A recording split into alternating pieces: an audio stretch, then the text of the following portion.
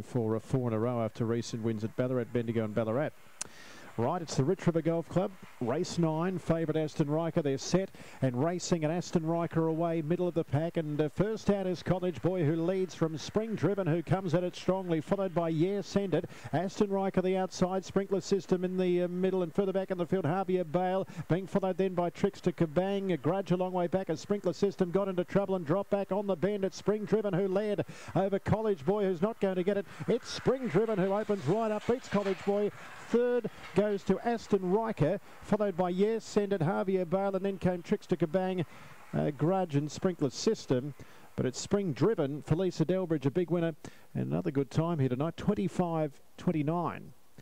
Number six, and it really uh, carved up the straight in tremendous fashion to, uh, to blow them away. 6 2 in a photo officially. It's